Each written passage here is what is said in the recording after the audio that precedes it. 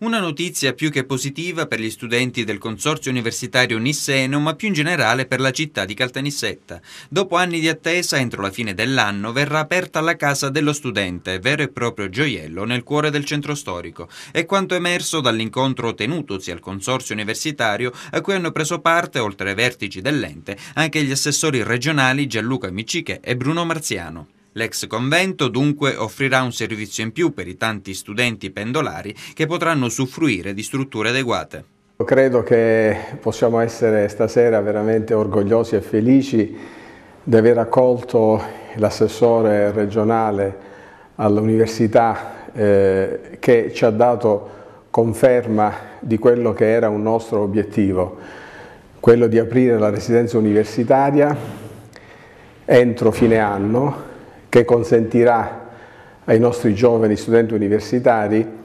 che hanno diritto allo studio, diritto all'alloggio, cosa che purtroppo nei passati anni, nei 20 anni trascorsi al Consorzio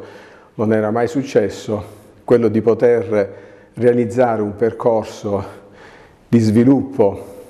all'interno di una struttura che è quella della residenza dell'ex convento di San Domenico che purtroppo da diversi anni ultimata e mai abitata, ecco questo ci consente in qualche modo di definire un piano strategico che è quello che due anni fa ci siamo dati. È emerso che c'è l'esigenza e anche la volontà di aprire entro la fine dell'anno la nuova sede universitaria del,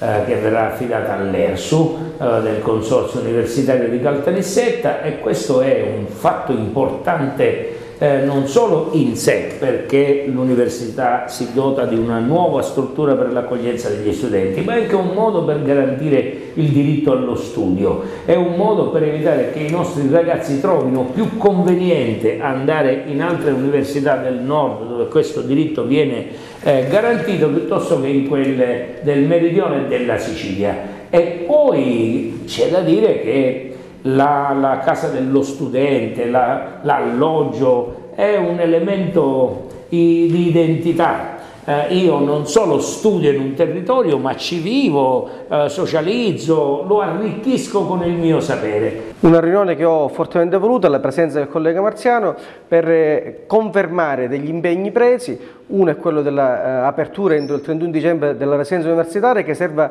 da impulso per rilanciare definitivamente il progetto universitario a Caltanissetta.